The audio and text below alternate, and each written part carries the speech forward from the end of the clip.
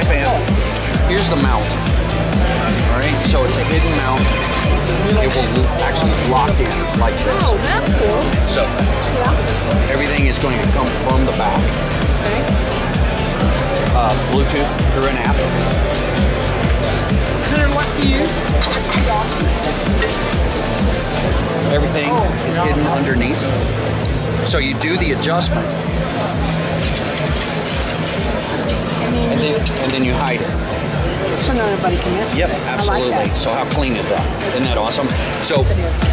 this is DSP. Crossover point, everything is in this.